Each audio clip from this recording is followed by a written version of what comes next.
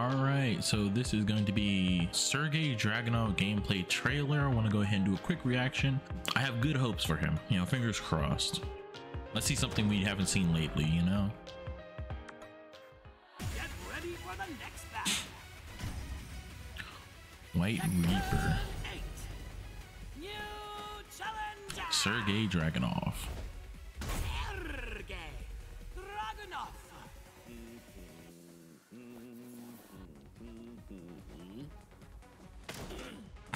Okay. Was that?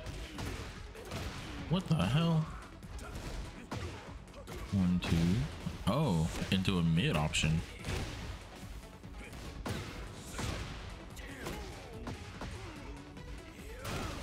That wasn't running. What?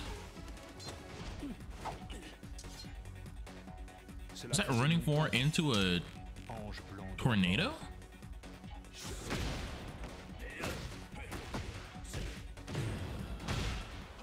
Okay.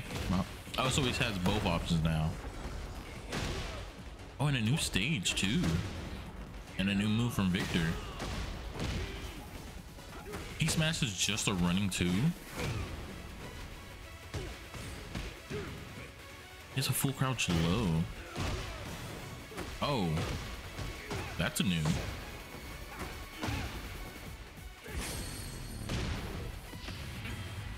Running two still counter hit launches, of course.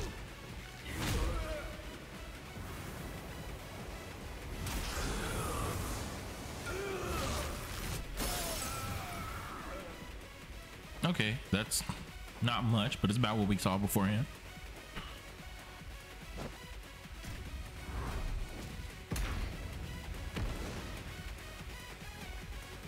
All right. Definitely like what we're seeing from Dragunov. Definitely more interesting than what we've been seeing lately. His moves actually look like they're gonna work into his kit rather than just being moves they added on superficially to be like, hey, we added a new move. Like, but they actually look like they will change his gameplay a bit um, in some key situations. But yeah, Drag is back. He's new, he's fresher, and hopefully he's not as um hopefully he's not along the same lines that everyone else has been, you know.